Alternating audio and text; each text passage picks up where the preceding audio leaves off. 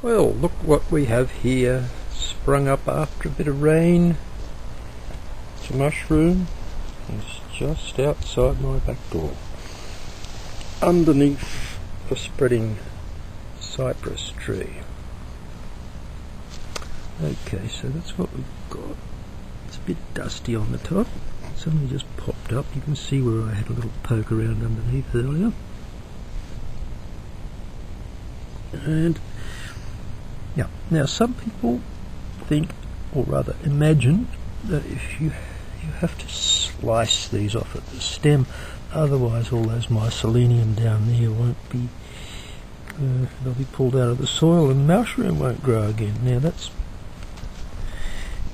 imagination, sheer imagination, because all the mycelium in the soil is in the soil all around here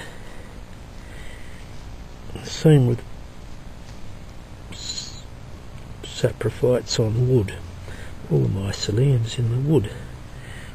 Now what have we got here? There we go. There's a nice bit of mycelium in the soil there. And you can see where it had its little veil very recently. There's a bug scuttling off down the hole there. Yes.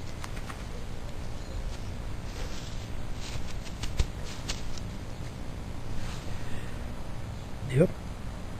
There's surely going to be growing mushrooms here again. Because all of this, all of this area here is all of it mycelium, that is. Anyway, there we go. See, nice gills.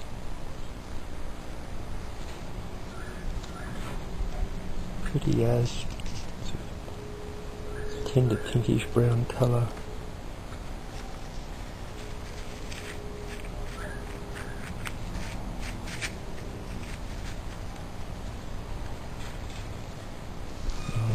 That so we may as well. Put that back.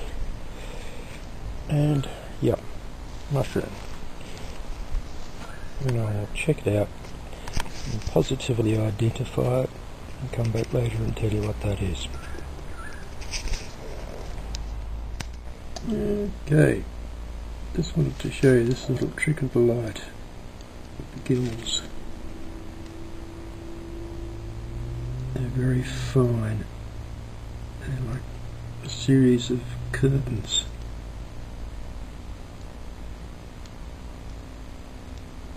Very nice. Okay.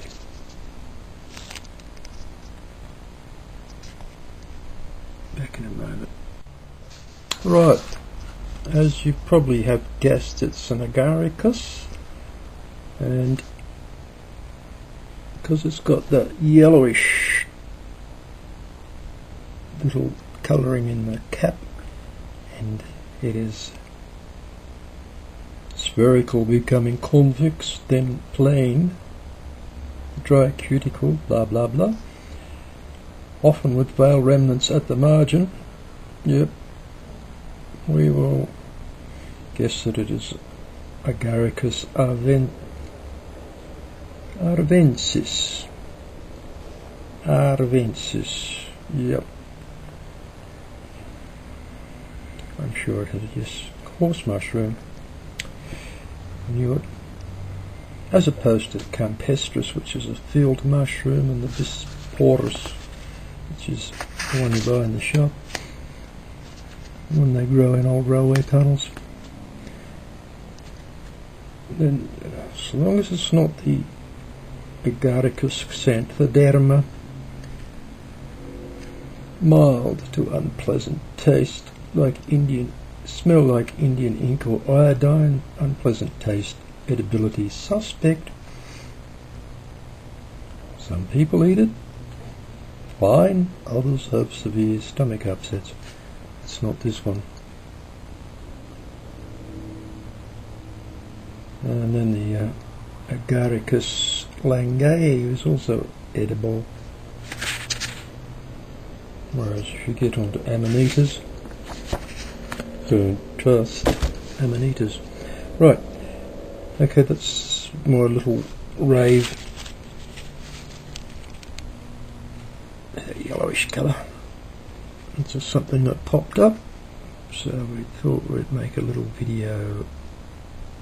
Remember what I said about people who think that you have to cut them off, otherwise they won't grow anymore.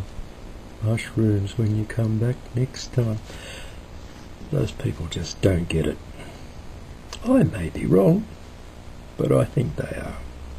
Okay. Enjoy.